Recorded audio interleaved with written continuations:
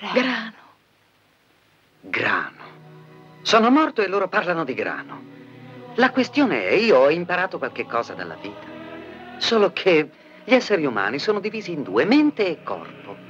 La mente abbraccia tutte le più nobili aspirazioni come poesia, filosofia, ma che si diverte il corpo. La cosa importante è non essere amari. Sapete, se viene fuori che c'è un Dio, io non credo che sia cattivo. Credo che il peggio che si può dire di lui è che fondamentalmente è un disadattato.